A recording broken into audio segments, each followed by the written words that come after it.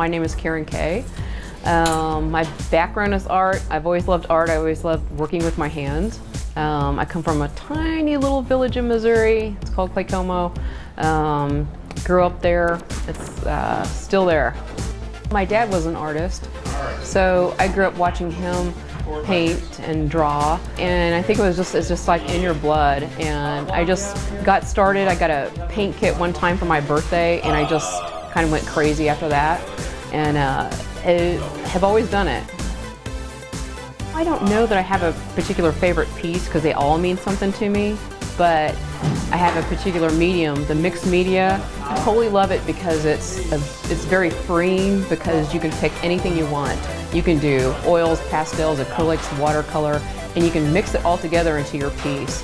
And I love it that you can get any kind of a look or anything you want from the different mediums that you choose. My name is Karen Kay, and I'm a raw artist.